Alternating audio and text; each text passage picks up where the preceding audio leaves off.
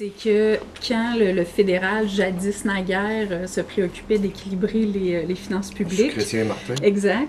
Il y avait eu des, des compressions drastiques dans les transferts qui étaient supposés être temporaires, euh, dans les transferts en santé, qui étaient supposés être temporaires euh, pour pouvoir atteindre l'équilibre budgétaire, mais ils n'ont jamais été ramenés après quand l'économie est allée mieux, les finances publiques sont allées mieux.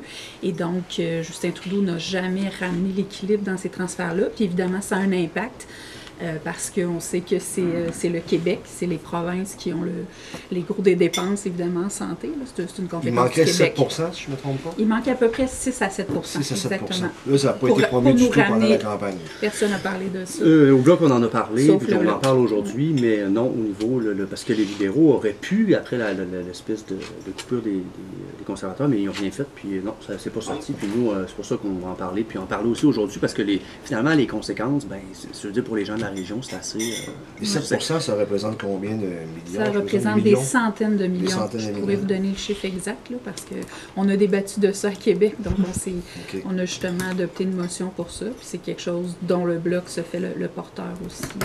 Puis ça, ça a un impact direct, évidemment, sur les soins de santé et sur les aînés au premier chef, pour qu'ils puissent avoir le niveau euh, d'investissement en santé requis.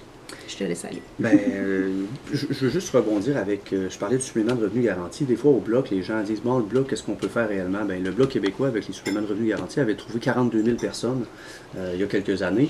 Et c'était des gens qui ne savaient pas qu'il y avait droit au supplément de revenu garanti. Puis c'est vraiment les députés du bloc qui ont réussi à aller les chercher puis à les trouver. Donc, ils ont vraiment concrètement trouvé. Voilà. donc, c'est pour montrer l'utilité du bloc. Puis, cette espèce d'idée, je pense qu'on oublie de, justice sociale qui existe dans ce parti-là, qui a vraiment un côté euh, à l'intérêt. Puis c'est pas juste les Québécois, des fois aussi on pense, oh ben là ça va être juste le Québec. Mais ces suppléments-là sont allés partout au Canada. C'était pas une, bataille, c'était une bataille qui a bénéficié à tout le monde.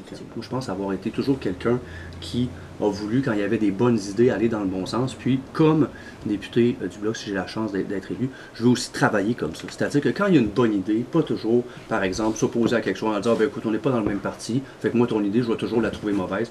Moi, j'ai toujours aimé cet esprit de collaboration de, de Mme sur plusieurs dossiers qui, qui étaient là. Et j'ai vraiment envie d'être quelqu'un qui travaille dans ce sens-là et pas d'être quelqu'un de borné et quelqu'un qui va euh, qui va pas écouter les autres et qui va... En d'autres termes, si les conservateurs avaient une bonne idée, mais vous pourriez l'appuyer. Mm.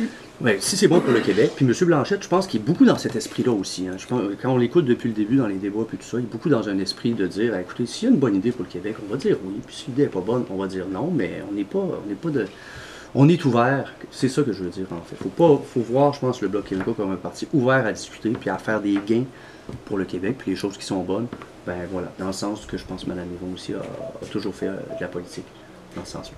Puis je pense que c'est un de nos Oui, ben moi je suis vraiment heureuse d'être ici. Donc, euh, pour vous dire, euh, je n'ai pas fait une tournée euh, de, tous les, de tous les candidats du Bloc du Québec. En fait, je me suis concentrée à, aider, dans la mesure du possible, Gabrielle Sainte-Marie dans, dans, ma circonscription.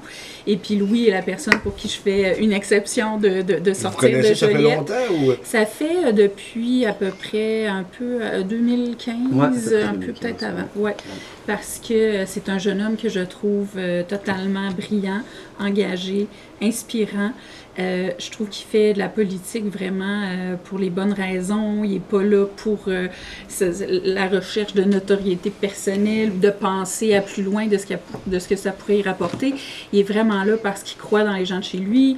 C'est un petit gars bon du coin, plus de, Rivière-du-Loup, mais qui a un grand attachement pour Montmagny, je le sais. Puis là, je pense qu'il est beaucoup ici dans ces C'est vrai qu'on le voit plus cette année. Oui. Puis que j'avais dans les derniers jours. Oui, c'est ça. Je me demande bien pourquoi. Hein? On sait pas. Je le trouve tellement sympathique. Ben oui, ben oui, ben en parler, justement. Viens voir le journaliste à lui. Exact. tellement c'est le meilleur. Ah oui, non, ça n'a pas de bon sens. C'est le meilleur. Fait que tout ça pour dire qu'on euh, a bien connecté, justement parce que euh, il y avait une approche de la politique que je trouvais vraiment sincère, authentique, pour faire une différence le plus concrètement possible dans la vie des gens. Puis moi, je pense que c'est la chose la plus significative en politique, c'est toujours de partir du bas pour aller vers le haut. Donc, c'est de partir des gens dans leur réalité la plus concrète.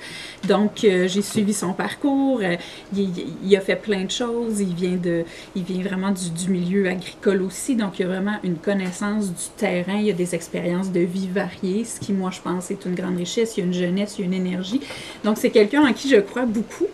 Alors, euh, quand il m'a dit ça va vraiment bien, puis ça monte, ça monte, ça monte, et moi, j'y crois vraiment que c'est possible, je serais vraiment heureuse de que la Chambre des communes, que le Bloc québécois, que les gens d'ici puissent compter sur, euh, sur quelqu'un comme Louis. Alors, j'ai dit, ouais, je vais, je vais m'organiser dans le dernier droit pour, euh, pour aller te donner un coup de main. Puis ça, ça me je dirais que ça me rejoignait aussi les éléments qu'il voulait aujourd'hui euh, mettre, mettre au jeu concernant les aînés, concernant la santé, parce que je pense qu'il y a énormément à faire.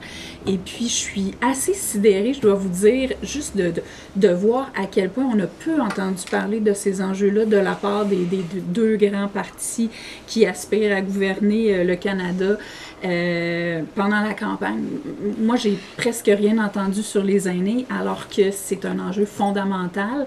C'est un enjeu de mieux les soutenir. C'est un enjeu de justice aussi, de se dire que ces gens-là qui, se sont battus pour le Québec, qui ont, qui ont bâti le Québec, on doit euh, leur, leur rendre un peu l'appareil, la justice. je pense que les propositions du Bloc sont vraiment en phase avec les besoins les plus importants euh, des aînés.